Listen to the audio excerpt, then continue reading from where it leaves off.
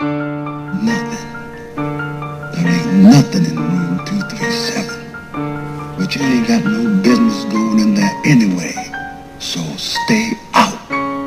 You understand? Stay out.